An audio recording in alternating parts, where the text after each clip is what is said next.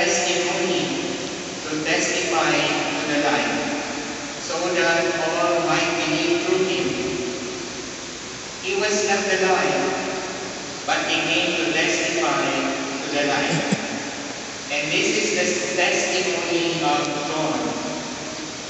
When the Jews from Jerusalem sent priests and Levites to him to ask him, Who are you? He admitted did not deny it, but admitted, I am not the Christ. So they asked him, What are you then? Are you Elijah? And he said, I am not. Are you the prophet? He answered, No. So they said to him, Who are you? So that we can give an answer to those who sent us. What do you have to say for yourself?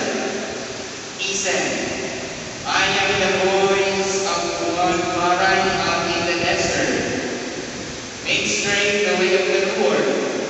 As Isaiah the prophet said, some Pharisees were also sent.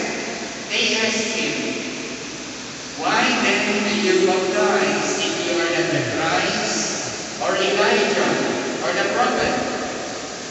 John answered them, I baptize with water, but there is one among you whom you do not recognize, the one who is coming after me, whose sandal strap I am not worthy to untie.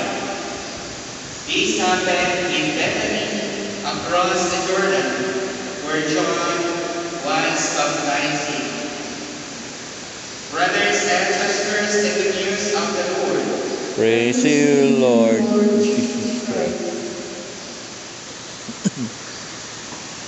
In the beginning of the Mass, I, I mentioned that we are on the third Sunday of Advent, which is called the Gaudete Sunday. Tinatawag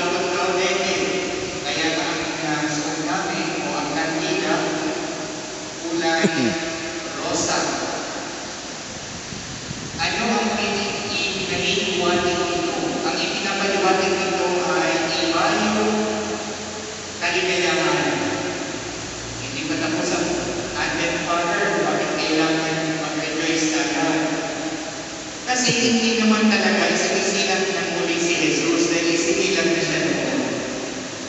Pero bakit nandun pinagalan tayo? Upang maramdaman natin at malaman ulit natin ang pagdiriwang ng kanyang kapanganakan na mayroong pag-asang ibigay sa atin. Father, paano naman tayo mag-rejoice sa pandemic?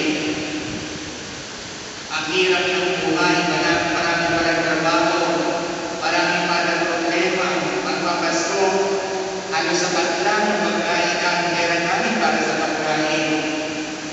Yes, we all experience to tighten our belts. Nagtitipid tayo, pinagkakasya natin kung anong meron tayo, dahil alam natin mahirap ang buhay. Pero hindi ibig sabihin noon, malulungkot na lang tayo at mabubuhay tayo sa kawalan. Madalas ang tao nalulungkot dahil sa kawalan ng pagiging kontento. The absence of contentment. Pag ang tao hindi na kontento, lagi itong naghahanap ng higit pa.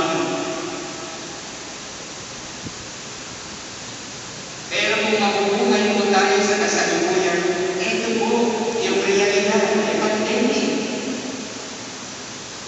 Huwag ka na munang magtangan na manood ng CD tuwing Martes, Lunes at Martes. Eh, wala namang sinihan ngayon. Eh kasi bata, sarap-sarap na buhay namin noon. Papasok ako ng mall. bibili ako, doon ako pananaghalina. Yung pangalawang pelikula, doon ako magsisiesta.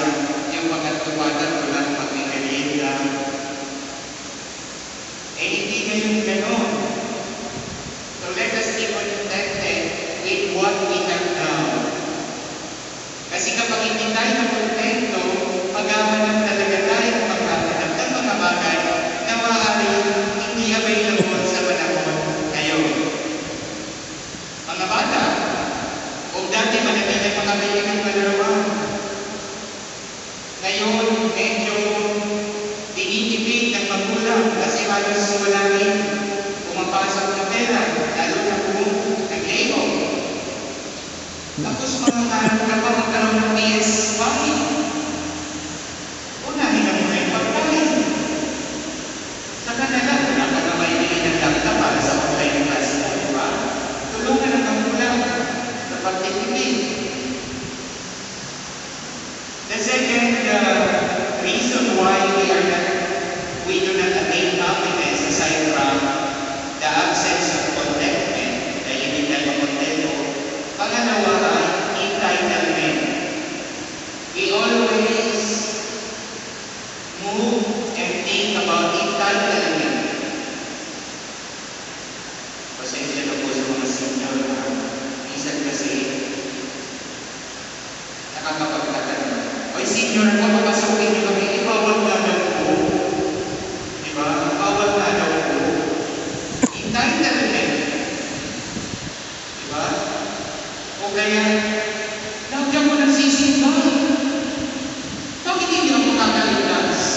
Entitlement. O kaya magpasok natin sa mundo. Needs na yung gamit natin. O kuhanin yung temperature. Alam mo ito. Magkaka-COVID talaga kung matagal mo kung matatayunin dito. Sometimes it's entitlement. O kaya naman, kahit saan mo napalo, we are reminded. Kasi minsan siyempre iisipin namin. We always be the first. One time, nasa ATM machine ako, nakapila, haba. And doon sa second, nakita ko, ano nga ba yun? Parang dito ka na lang, dito ka na lang. Sabi ko, wag na.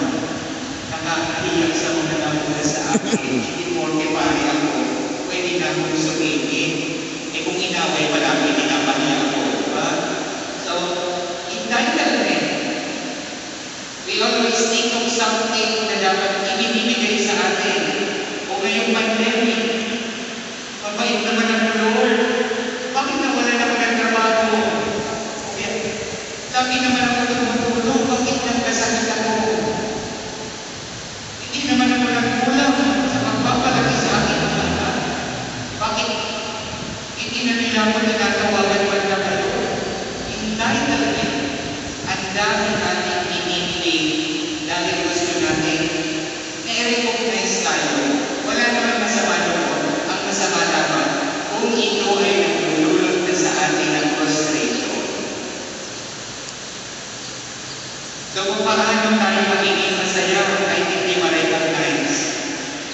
Kung pakikinggan natin ang Ebanghelyo ngayon. Si John, naging totoo. Kaya siya masaya.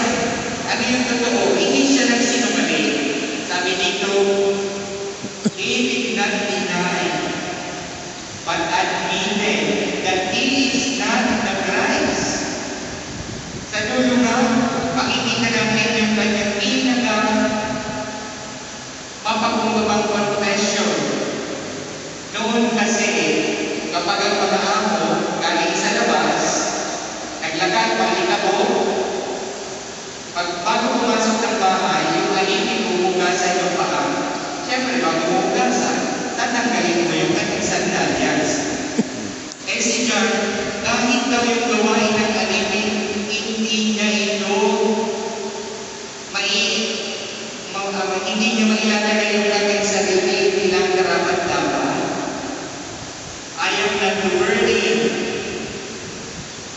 Undying, the sandal strap of Jesus, kahit man lang gawa ng naitin, hindi lang siya karapat dapat. He did not recognize himself with entitlement. Naging masaya siya. Kaya kayo naman mga kapatid, magiging masaya lamang tayo kung mayroon tayo kapag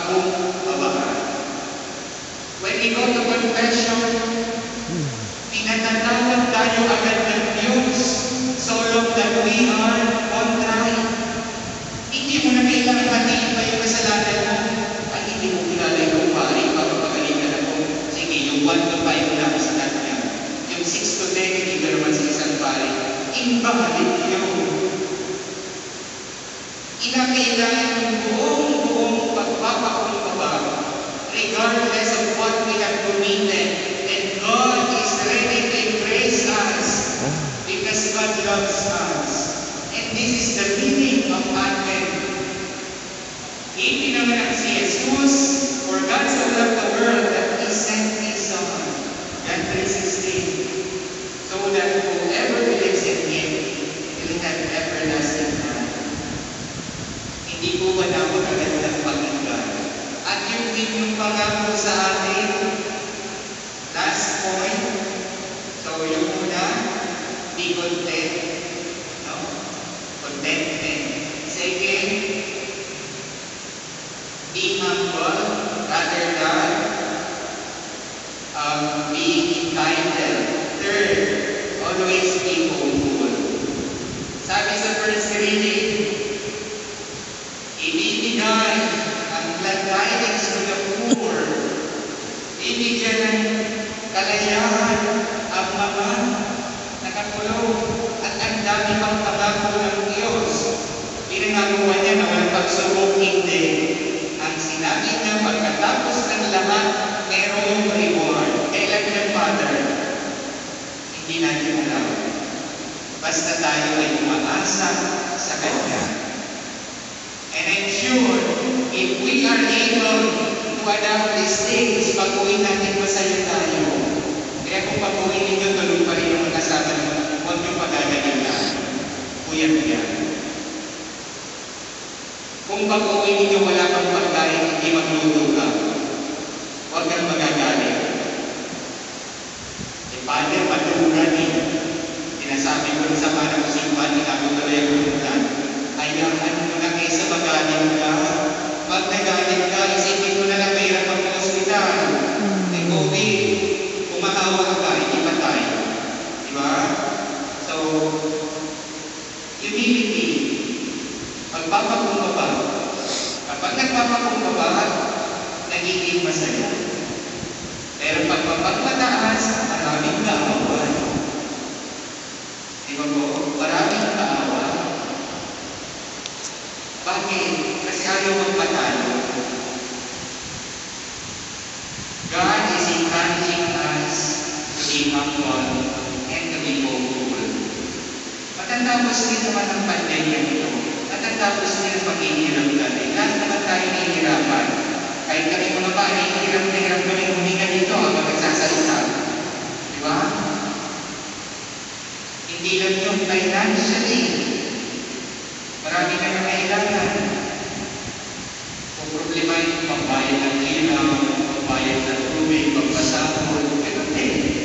Pero, we rely on the providence.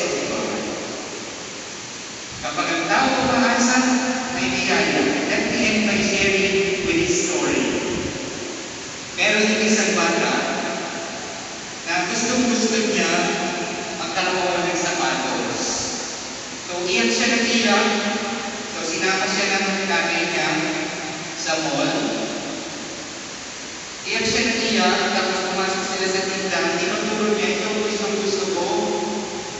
Eh, sabi ng nanay, tingnan natin, ang mahal ng